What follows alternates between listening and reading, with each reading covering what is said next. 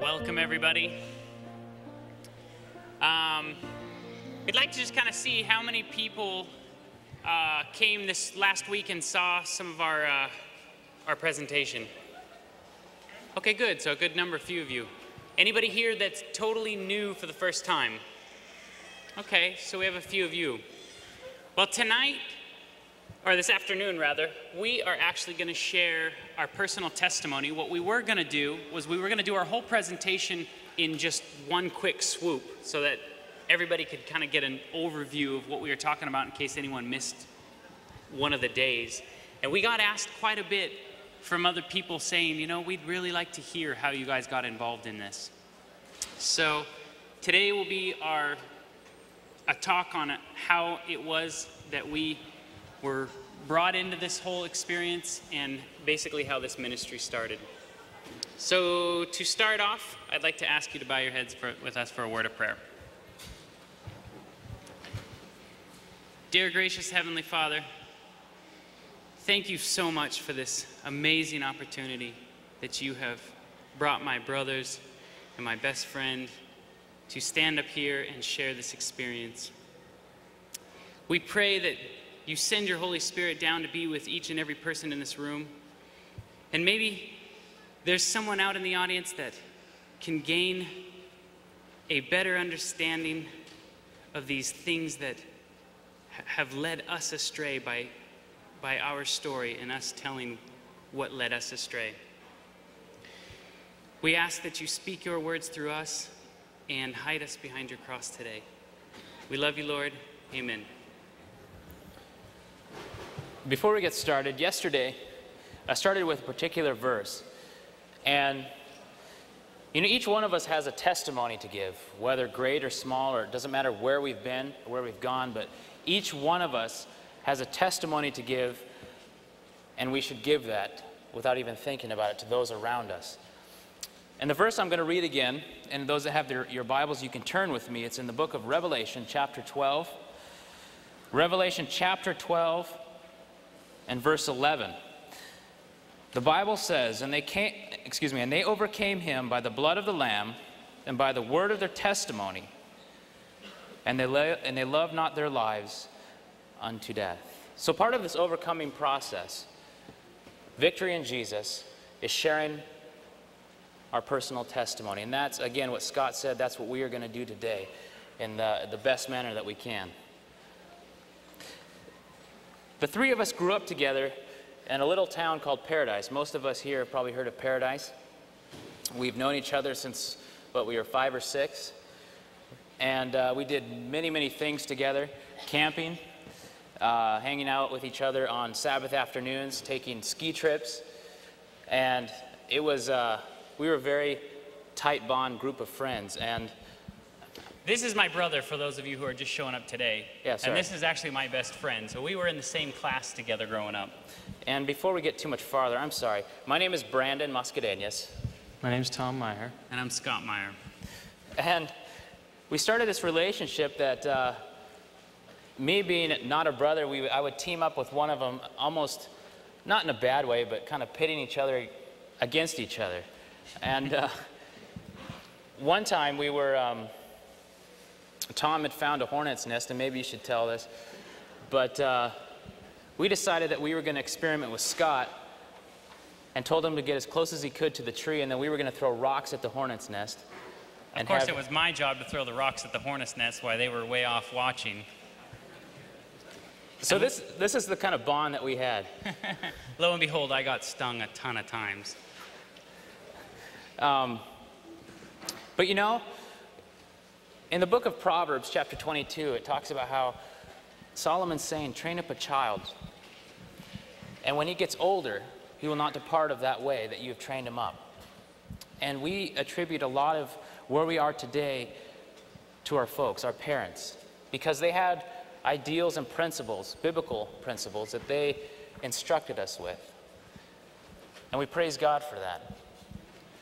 Well, we'll start from the beginning. Tom and I, when we were really, really little, um, our parents had an 8 millimeter film camera. Anybody out here had an 8 millimeter film camera? And our parents used to buy us film cartridges and say, you know, go play, go play. So we'd get all of our little neighbor kids together and we'd write these little stories and we'd, we had these like tree forts that we'd make these little stories based around haunted houses and things and we'd get my dad to come out and film them.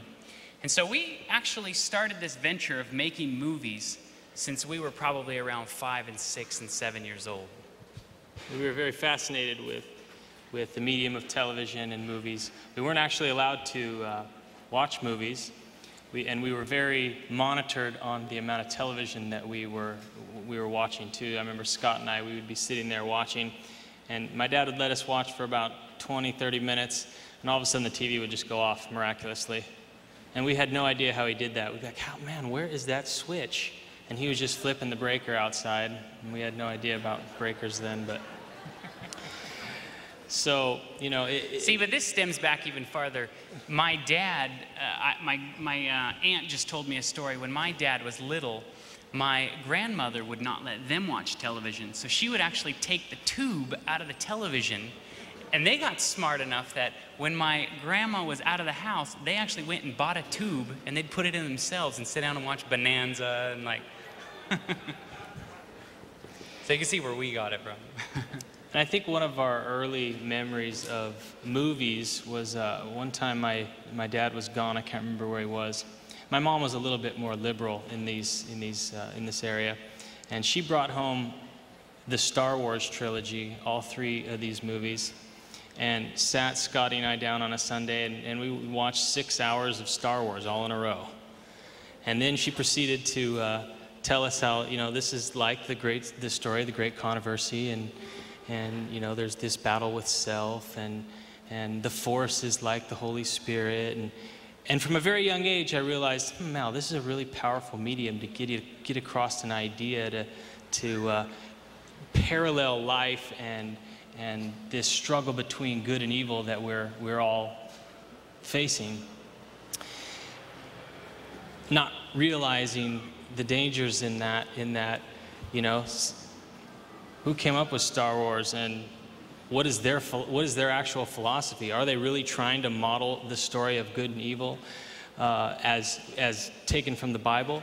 or do they have other you know beliefs and ideals that, that they're also putting in there and it's just so close to the truth that you sometimes have a hard time uh, dis- discerning the error in it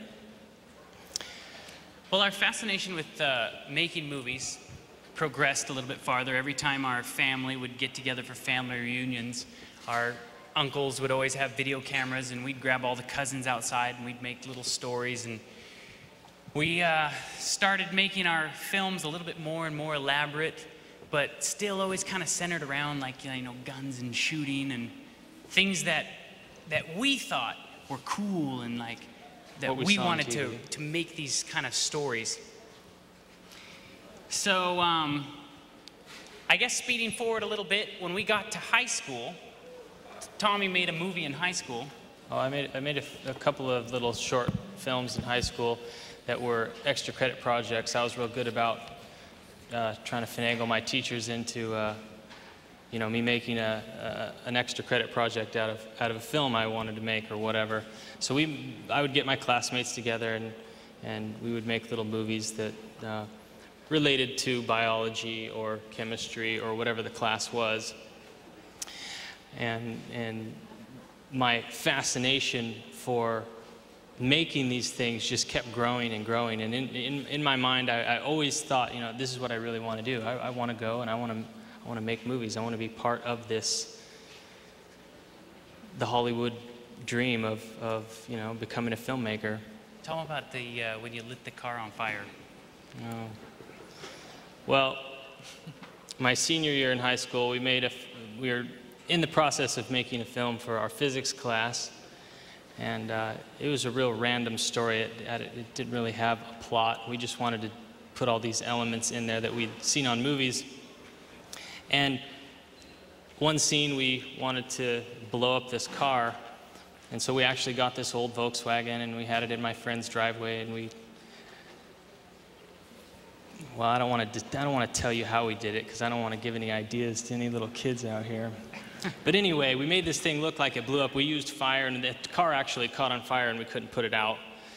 And uh, the fire department had to come and put it out, and we, we almost got in a lot of trouble. We, we were excused based on the fact that my friend's mom went to the fire department earlier that week and had actually tried to get a permit for us to burn the car and the, the person at the fire department misunderstood what she was saying and ended up writing her a permit to just, you know, burn a pile of leaves outside. And so there was a big misunderstanding, and they let us off. And that was my that was a close call. I don't know if you've ever seen a car burn. It's extremely difficult to put out.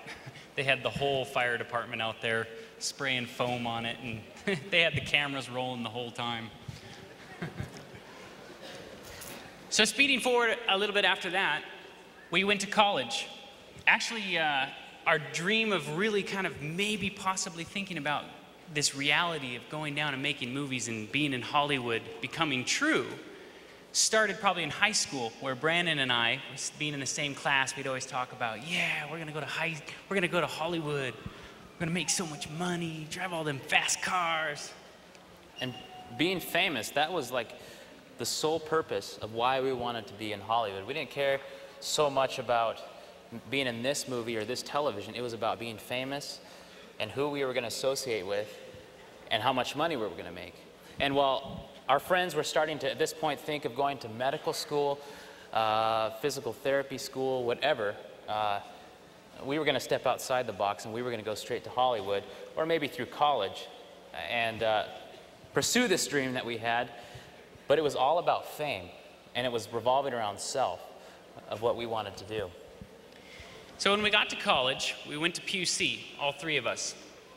And the only two years that I went to PUC, um, there was a film degree that a film person from the industry had come and spearheaded being the, the, the head of the department of the film school. And he had ties to Hollywood and he had done a lot of things.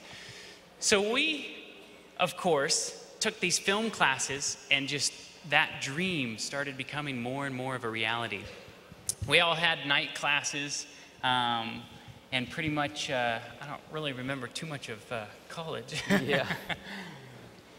I would probably say it's PUC where I started losing my faith. Like you can find anything that you want to anywhere that you go. There are spiritual kids and there is not spiritual kids. I started to kind of fall away from the things that, that were of God. I was more concerned with the partying. I was more concerned of like the social aspects. And this whole dream of Hollywood that was just starting to become a reality started really toying with what it was that I thought I wanted out of life.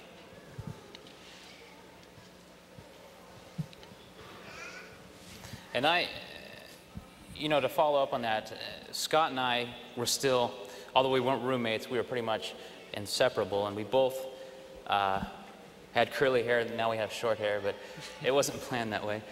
But we did everything together. We made our little films together, our little video shoots during the day. And then, like Scott said, at night, it would be the party life. And same for me, my life took a turn. And I don't attribute that to the school per se. It was the choices that I decided to make and the influences that I chose to hang out with.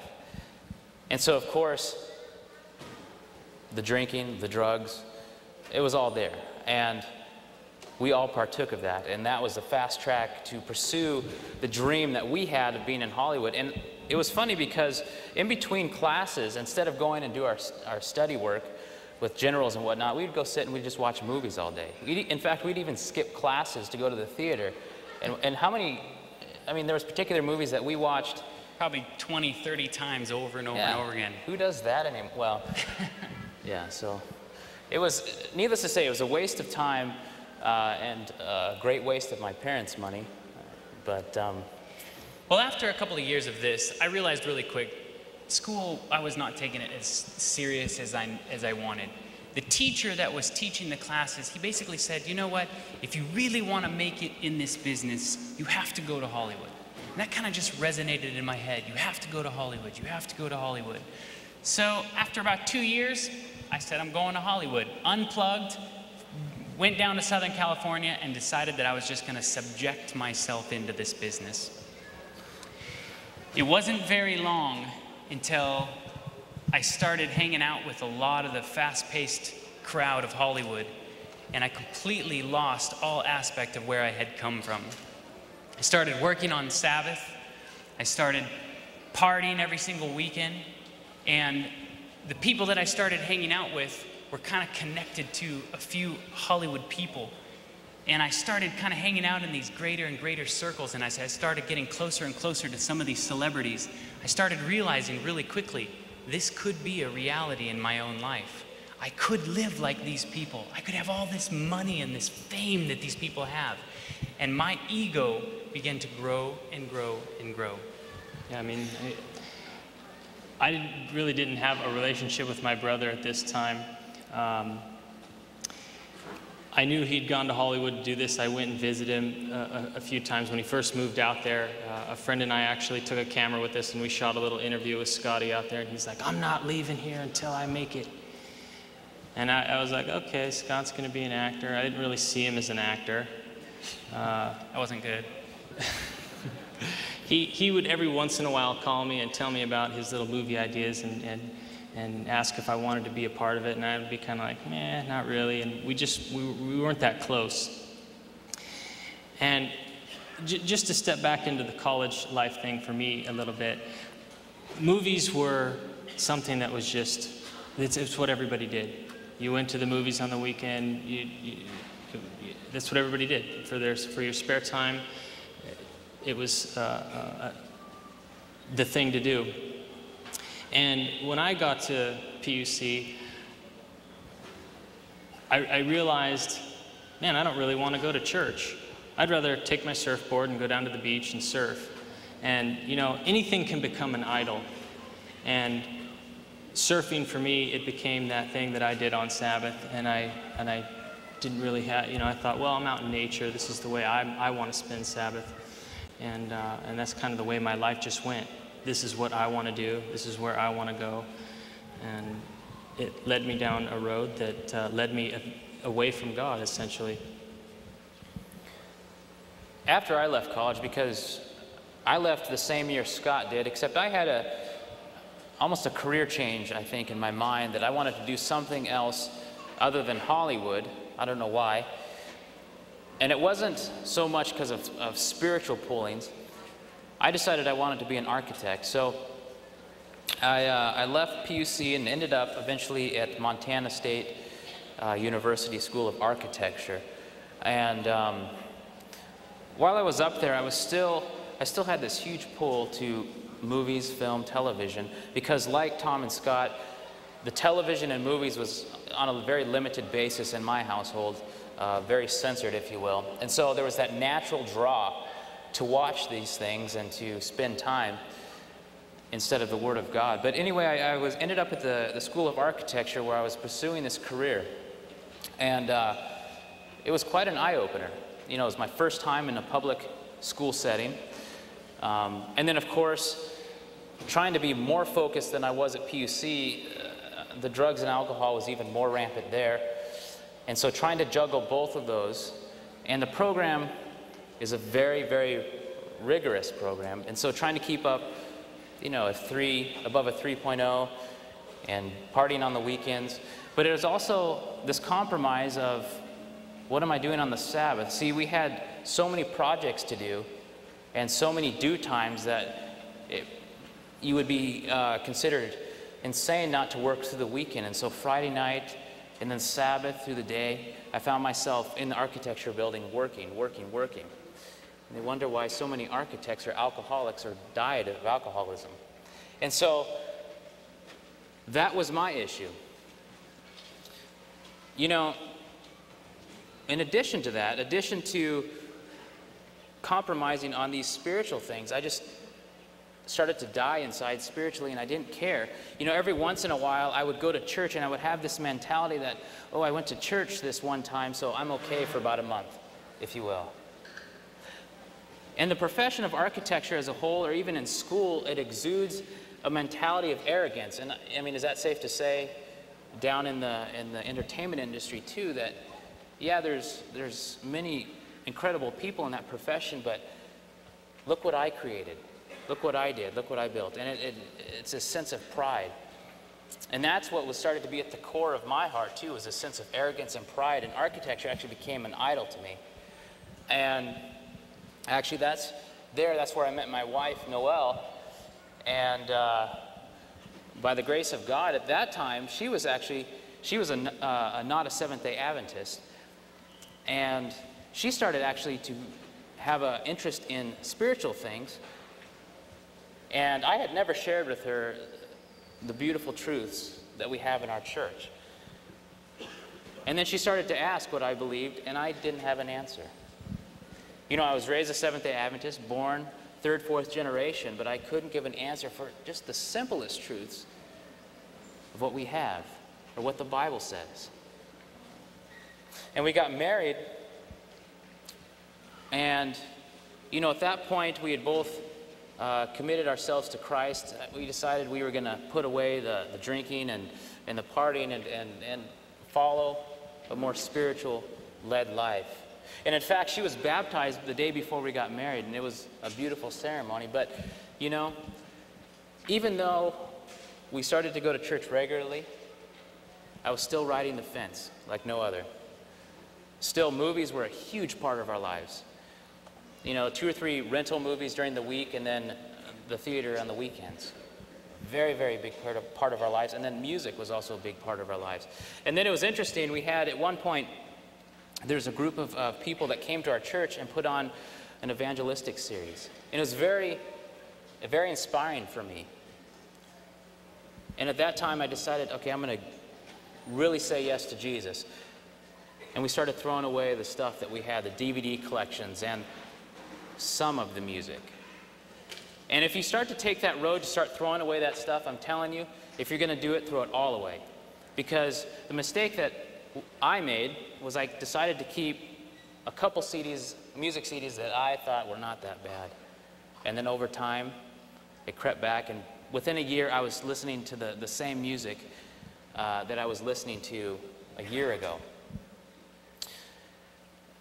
Well, I, you know, the Lord isn't done with us yet.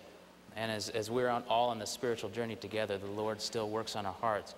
And I had a, a very dear friend of mine praying for us, and I had become very close with him. And I started to work for him in the summers between college.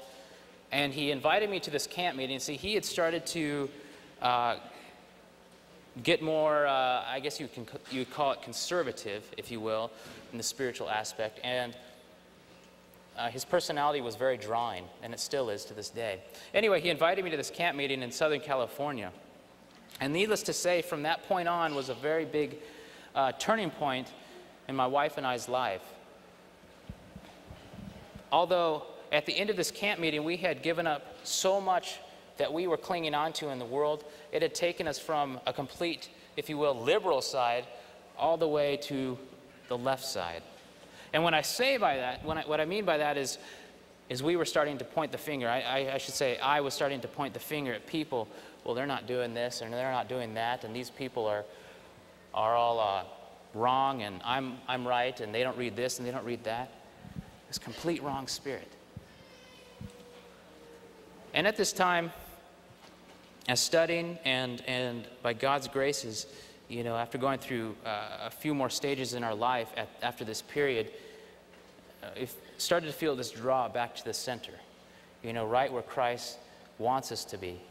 And during this time, you know, I would talk to Scott every once in a while. I didn't talk to Tom too much, but I still kept in, in contact with Scott on a regular basis. Um, and bless his heart, he would always want to bring up some sort of religious topic. And of course, keep in mind, I started totally lo- losing my religion and I started thinking, oh, great, my best friend's an Adventist nut. This guy's gone off in the deep end. and, um, you know, it, it was it was this experience of just kind of hearing him talk about it, and I was just like, man, I don't really want to hear that right now. I'm working on my own fame, I'm working on getting myself the, the stuff of life.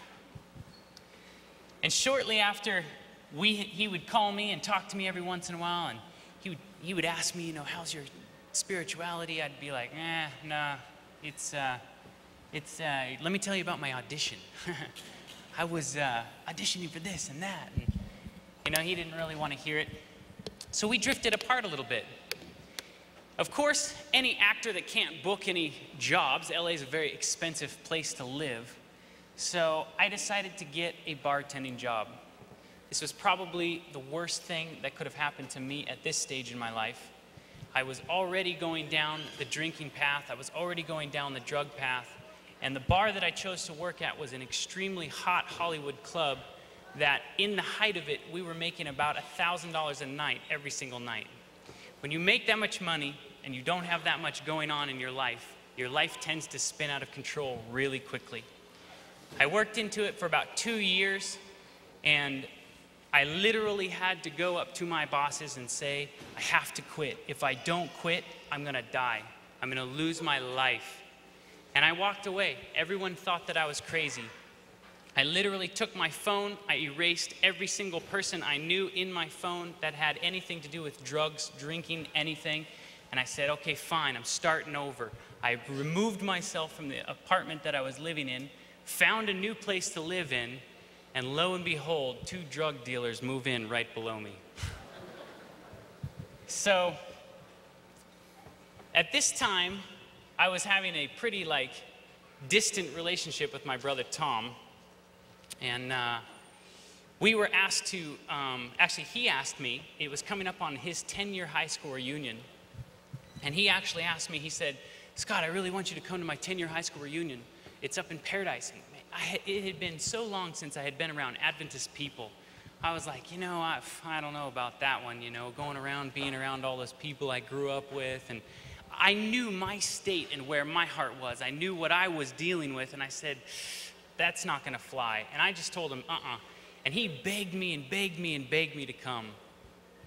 So at the last minute, I said, fine, Tom, whatever, I'm going to come. So we ended up going up to Paradise, and uh, it was really strange. We walked into the church, the school, everything seemed the same. The people that I remember almost 10 years earlier seemed just a little bit older, but every face was almost the same. And so many people walked up to us and said, How's Hollywood? How's, have you met Brad Pitt? Have you met Britney Spears? And of course, you know, they treated us a bit like celebrities and this and that. What films have you worked on? What TV shows have you worked on? This and that. And it was really strange. One guy out of the whole audience came up to us and said, Hey, how's your relationship with God? And this one kid that came up to us and asked us that was the most unlikely kid to come up and ask that at all. He was the guy that was growing up, was doing the most drugs, and was in the most trouble. And it kind of took us back, both of us, and we kind of stepped back and said, you know, whoa, that was kind of weird. And he invited us over to his house for lunch. He said, hey, I want you guys to come over and uh, eat lunch with me. Don't, don't worry about, you know, going to the rest of the whole weekend. Just come, come spend some time with me. I want to share with you my experience. So we went over to his house, and um, he had still been kind of struggling with drugs back and forth, and he was really, really super Christian one minute and really, really super not the next minute. This time he happened to be really, really on his Christianity walk. And he sat down and he started reading Bible verses with us. And man, it had been a long time since I'd heard people talk like this. And it started getting dusk, and the things we were talking about, I, you know, I enjoyed talking about religion. Um, but he, he said, You know what I really want to do with you guys? I'd like to pray.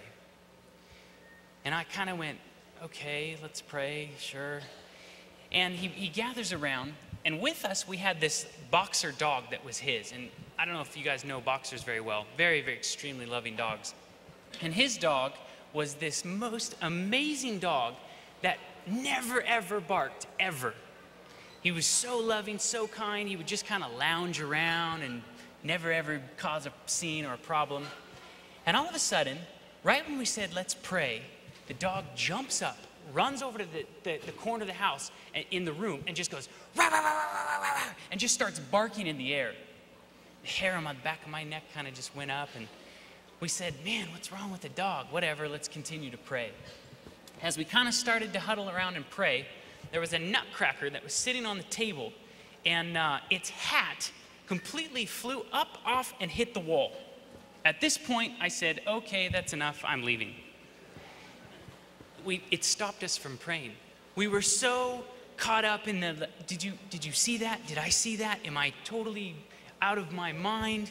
That we just completely did not pray, and I just felt weird after that. This, this was a, a turning point for both Scotty and I, this trip that we'd taken. Because um, you see, by this point, I'd I don't know how many years already. I'd worked in television, three or four years. And I'd been working on the Sabbath to work in this business. Uh, if you take a stance on the Sabbath, you're going to lose out on a lot of work.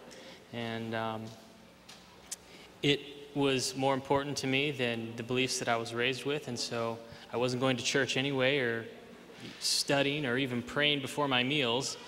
So, of course, yeah, I'll work on that day. And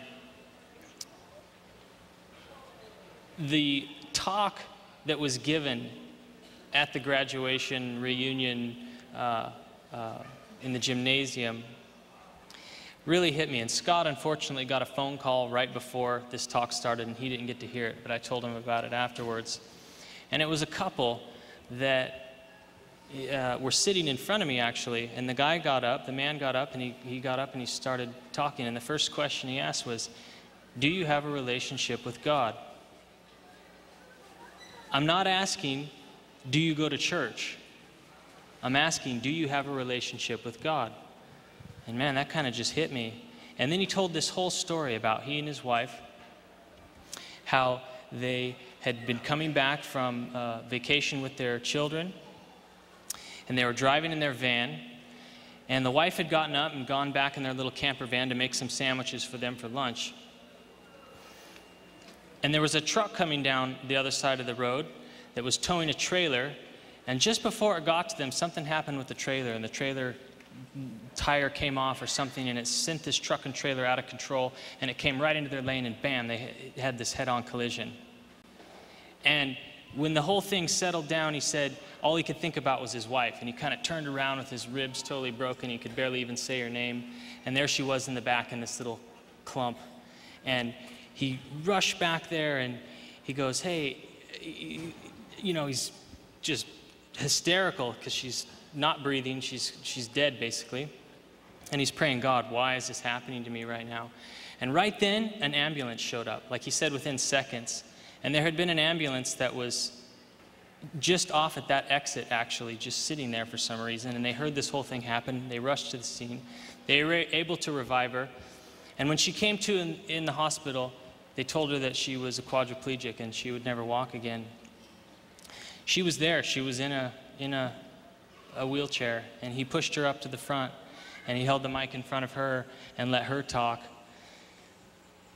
And she goes, When this whole experience happened, when I came to the realization that I would never walk again, I no longer, and I was in so much pain, she was in so much pain, she didn't want to live. And her and her husband prayed day after day that she would die and that, that she would, you know, rest and be relieved from all this pain that she was in. And she didn't. She just, she, she got better. I mean, she never regained, obviously, uh, her motor skills or anything, but she lived through this experience and she said that she loves life more now than she ever had before and that she's loved being able to see her kids and, and her children and what they've achieved and, and, and all these things. And she reiterated look, things are going to happen in our lives. And when they happen, if you don't have a close relationship with God, how are you going to make it through that? And that just really hit me because I hadn't had anything happen in my life that was traumatic. And I was like, oh man, I don't have a relationship with God. And then this experience happened where we, where we ran into this, this old classmate of ours. And I went home from that experience and I began to pray. And I just began to say, God, I hear you calling me back to a relationship with you. And I, I, I didn't, I don't know what to do, but please help me. And um, he, our friend had sent us home with this book. And I read this book, and it was a, a talking about this battle between, between God and Satan. And, and it was, it, I think he, it was basically like a vision that he was given. I, you know, and I have, I've, I've, I'm not going to mention the name of the book because um, I'm not sure exactly where it's coming from. But the beginning of it really hit me. It opens up with this scene where he sees the evil horde under the control of Satan, and it's just huge. It's like, you know, virtually endless sea of people marching in Satan's army. And the first procession is all Christians. And he said, No time in history has, Satan's always used Christians for his cause, but no time in history has he been able to use as many as he is now. And they're all marching along, and they each have a banner that they're holding, and they have, it says self righteousness on their banner and they can't see that they're in the army of the evil horde. And that really struck me. Here I am, really, I, I, I, deep down, I said, I'm a Christian, but I'm marching in the wrong army. I'm not, I'm not actively engaging this, this battle that's happening. And, and the book had a profound uh, uh, experience that I, that I, went through because of reading this book, I, I just really started questioning man, there, I, I, there's a battle happening. There's a battle happening. And it really awakened me to the fact that there's, there's this battle that's raging all around us.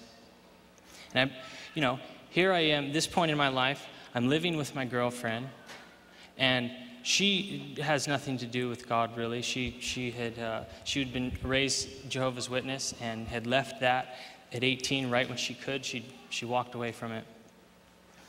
And I began talking with her about these things. I said, You know, I really think I need to start, I want to start reading the Bible again. I was raised to believe these things, and I want to read it for myself. I need to understand these things for myself. And she said, You know what? I, I think I want to too. So I started reading the Bible, and I would, I would share things with her, and she'd stop me every once in a while, and I'd get kind of intense and say that it reminded her of her dad. And I'd be like, okay, okay, and I'd kind of back off. And then we came up against this difference over the nature of Christ. And she kind of put him in that same category as Buddha and, you know, all the other great teachers on the earth. And I, and I stepped back and I went, whoa, okay, let me tell you, really, let me tell you what I believe Jesus Christ is. And I, I you know, I, I believe this is the manifestation of God here on earth, that this is the manifestation of God's word in the flesh. And she was like, oh, I don't know if I believe that. And I just said, I didn't judge her for it. I just said, you know what, I'm going to pray for you. And I just, every day, I would start praying for her. I'd say, God, please open her eyes. And for the first time in my life, I started praying like it didn't matter what situation I, I was in. I, up to this point, I had chosen everywhere I was going to go. I had chosen, I'm going to go here, I'm going to be with this person, I'm going to do this. It was all about what, what I was going to do. And at this point, I just, that all just kind of went away. And I just went, God, even though I love this woman so much, if she is going to be a hindrance for me, take her out of my life. But if not, open her eyes. And I just kept praying that prayer God, please open her eyes. If not, take her away. And a few months later, we were out at my dad's house visiting for uh, the Christmas holidays, and Brandon sent us three videos from Dr. Walter Veith. And those videos, my, we, we sat around, my brothers and I, and we were just captivated. We were like, wow, here was like just evidence right in our face. And I took those videos home, and I go, babe, you got to see these. And I put it in, and within one video, from Dr. V. I think it was the one on the New World Order. I mean, it, he, every single one, he ties, you know, Christ into each one. But within that one video, she took the dog on a walk the next morning and she came back and she was in tears and she said, You know, I, I prayed to God on my walk and I said that uh, I asked Him to forgive me and to forgive me for not believing in His plan. And from that point on, we've, we've, we've seen eye to eye. Through, through those videos, she saw the truths in the Sabbath and she saw the truths in, you know, the health message. And, and uh, I mean, I'd totally gone, I, we ate sushi three times a week, you know, I mean, I, so, yeah, it was, uh, uh, those videos had a profound, uh, Scott, please, you know, you can go on with that there. well, to back it up a little bit, uh, just because our stories, we'll, we'll bring them all together, but we kind of have these separate things that we went down these different paths. When we got, when I got back from this 10-year high school reunion, I had told the kid that gave us this book and that had come up to us and asked us to come over to his house for lunch. He was having some troubles, and I knew about them just from him talking about them. And I said, You know what? If you ever need to clear your head, come to LA. Bad. What do you know? About a month later, guy shows up, two suitcases. And he's living on my couch. So we started kind of we, he, he was really good at the guitar, so he'd, he'd come and he'd play Christian songs and things, and we'd sing, and he'd read the Bible with me. And I thought, wow, this is great.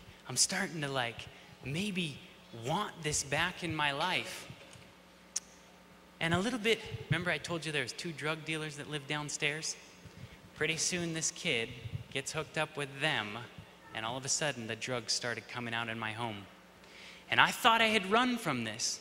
I had erased everybody in my phone, I had gotten rid of everybody, and I thought, you know what, I'm starting over new. And here, somebody comes into my house with a Bible in his hand and a drug addiction. So all of a sudden, of course, I get full blown sucked back into it, and we're reading the Bible doing drugs. And, you know, at first, we thought we were making sense we thought we were like, wow, we can really understand this stuff. You know, we can sit up for hours and read this stuff. And finally, things started to escalate. He started to get into more and more trouble. Money started to become a problem. All sorts of different experiences happened to where him and I really started butting heads. And so, I believe God sent me an angel a woman who we all went to school with came out to visit my friend. And we started hanging out, me and this other girl, and lo and behold, I am married to her today. And when I started dating her, she was going to school at Loma Linda University in dental hygiene. I was still heavily involved in partying in LA, but would go out and visit her on the weekends. She had absolutely no idea what I was into. None. Because when I would show up, I was fine. She remembers me from when I was a kid. We all went to school together. And of course, she heard, heard maybe that I was into partying, but she had no idea at what level. I had a couple experiences with, with some drug experiences that brought me to my knees to the point that said, you know what, I have a problem, and if I do not get help, I will die. I got into my car, tears streaming down my face.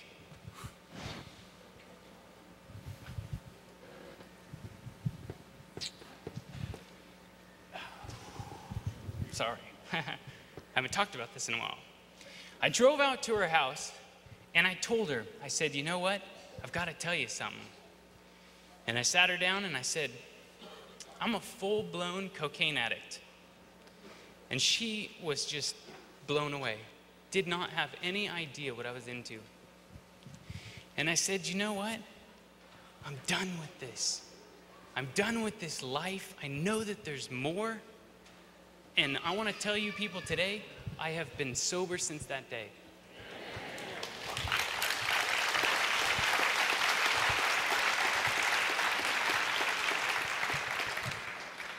I started going back to church with her. The first time I went back to, to, church on Sabbath, I almost cried the entire service. I knew what this day felt like. I knew what the truth was. And so as we started getting a closer and closer relationship, I went up to Paradise, California to visit her parents, and uh, we went to church. And I walked by the youth room at church, and there was about three youth in the youth room. And I said, Wow, you know, when I was a kid, there was, if you didn't get to church on time, you didn't have a seat in church. And of course, that got passed on from one person to another. Pretty soon, my father in law told somebody else that said, Hey, you know, Scott's kind of been having a change of heart lately, and we know that. We know that we're having a problem with the youth. Let's get him and his brother to come and have a talk about Hollywood and some application of God. And, and maybe we can get more youth involved. So they called me up, they asked me, they said, Would you just show a movie and then talk about God? I called my, my brother, I called Brandon, who had had this change of heart, and I knew that he was a big spiritual force in this. And I said, You know what? I've got a project, you guys. Why don't we go up to this youth meeting and take video clips and illustrate this talk about where did TV come from? What are the effects of television on the mind? And Battlefield Hollywood is what this has turned into. Yeah, it's not by anything, we, we didn't choose to do this. It was asked of us, and each place that we've gone is because somebody else has heard about it, and through the grapevine or whatever, we were asked to, to you know, go to the next spot. Even coming here, um, well, my grandmother had a lot to do with that. She, uh, She's she- been praying for yeah, a while. she's been praying for us for a long time, and that's the other the other aspect of this whole story is the power of prayer. If you have relatives, Amen.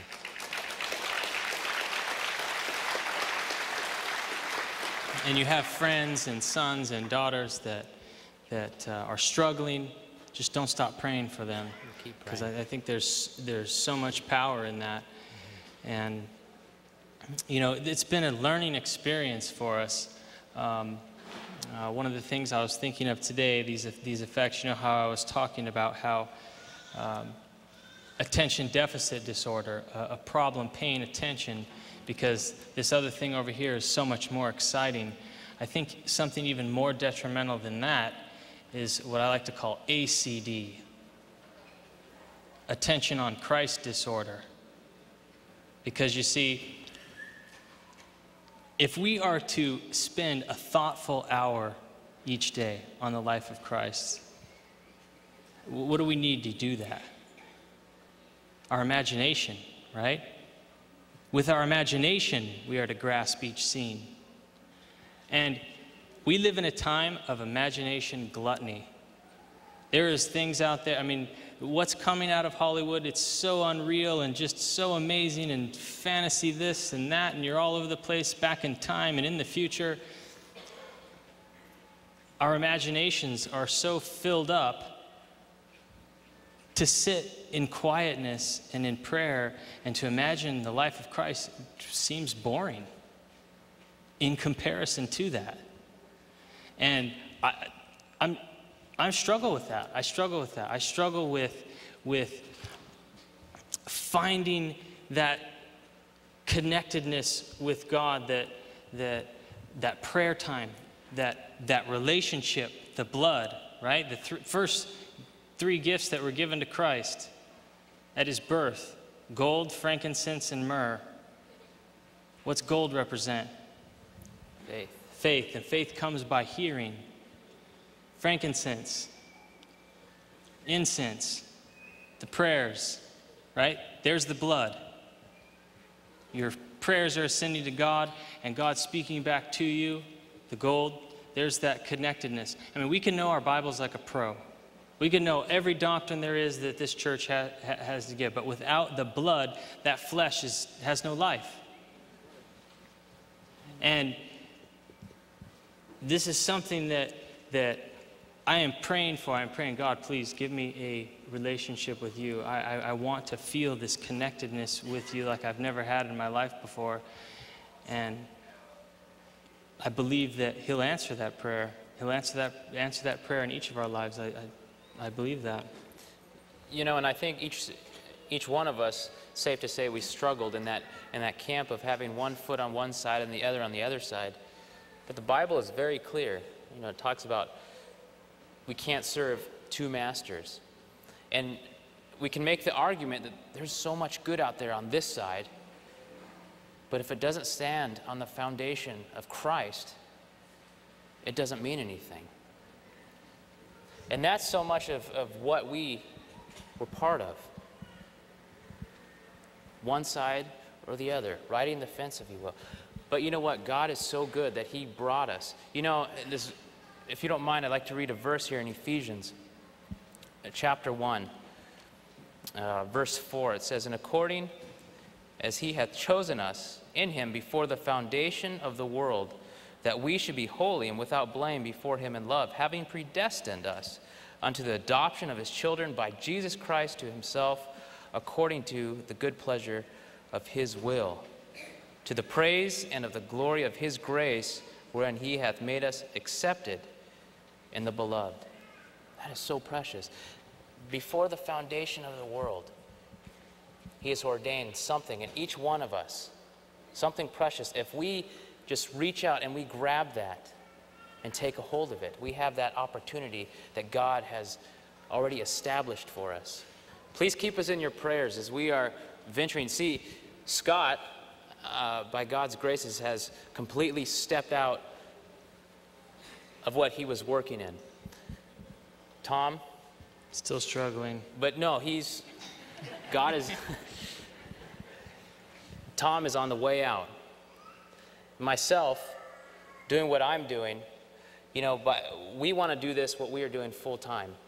We feel that God has called us to do a special work, and each one of us has a special work, but we feel like we have a special work to do as we are seeing the door of probation close to herald his coming, to prepare ourselves that we can prepare others. And so we ask that you continue to pray for us as we move forward in these endeavors by God's graces. We still have 18 minutes left. That's what it says. We're not done. we could be done. We could be done. It says 17 minutes. Keep talking. What else do you have to say? Talk about how you, uh, you know, you're. What's it feel like now that you've like totally unplugged? You know, this is amazing. Um, it, the, the temptation is always obviously there. I've turned down so much work. And um, I've basically made a pact with me and God saying, God, if you want me to make another dollar in this life, it's going to be come from working for you. So I feel so at peace. It's been such an amazing week for us to be here and share our experiences and what, what it is that, that we feel like God has shown us. And, uh, you know, the greatest thing that we can do is if, if just one person out there gains a better understanding of Christ from us standing up here, our job is done.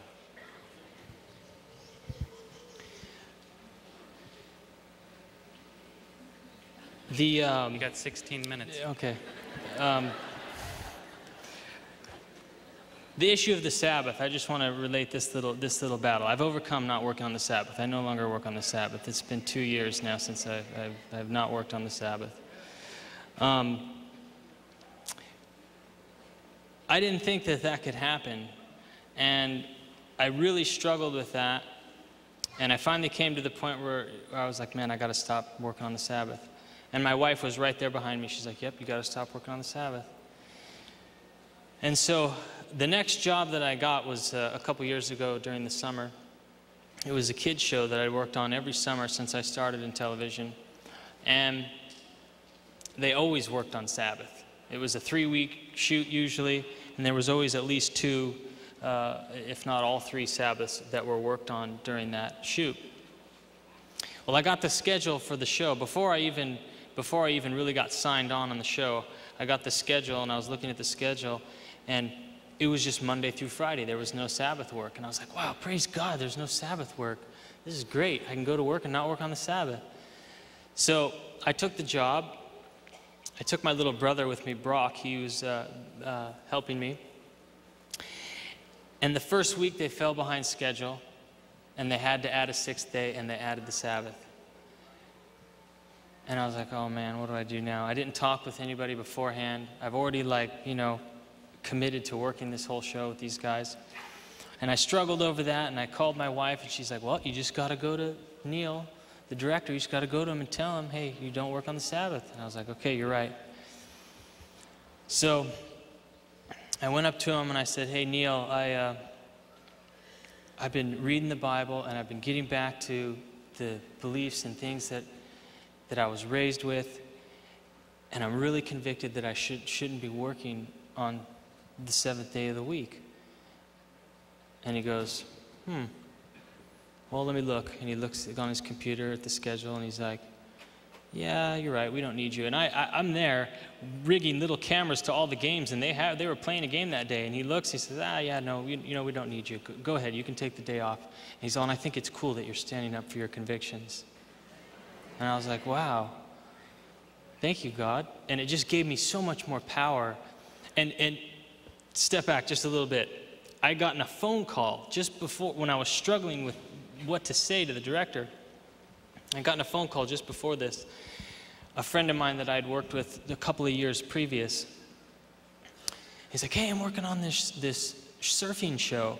And i I have this surfboard that I built, a little camera in it, and it has a little camera on the nose. It gets this shot of the surfer. And he goes, I heard about this surfboard that you have, and we want to rent it. I'm like, okay, well, you know, it's, uh, it's 500 bucks for the, or 600 bucks for the rental of the surfboard and 400 bucks for me to come and operate it, $1,000 a day. And he's like, okay, okay, well, it's going to be for the next seven Saturdays. I was like, oh.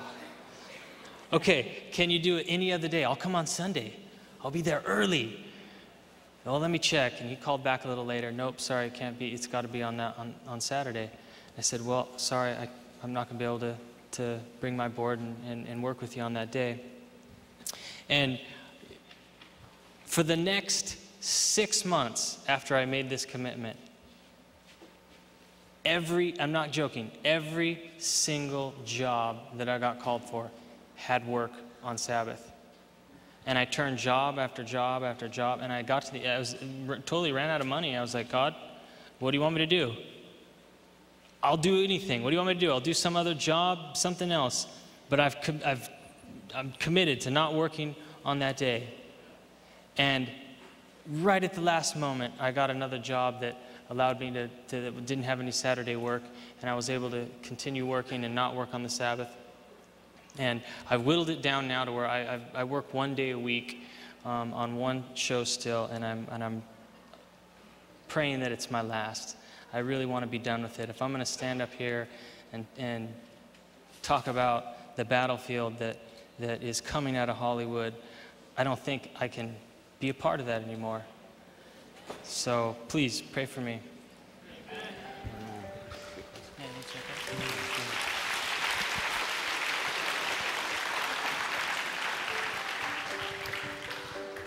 Just ask as we close here that you would please bow your heads with, with us in prayer. Our kind Heavenly Father, thank you so much for your uh, eternal promises of, of restoration of the soul. And I pray um, and I thank you for, for that. I thank you for your Son who gave himself that we have the opportunity of salvation. And I pray for each individual here that you would bless and guide them. As we are entering upon the Sabbath hours, I pray that you would help us to be prepared that we may meet you. That is, it a symbol of your second coming. I just pray that, that we would treat it in the same manner. Prepare our hearts, Father, for your soon return. And may we be a blessing and a witness and be bold in sharing our testimony of how Jesus has worked in our lives. Guide us now. and Thank you for this opportunity. In Christ's name we pray, amen.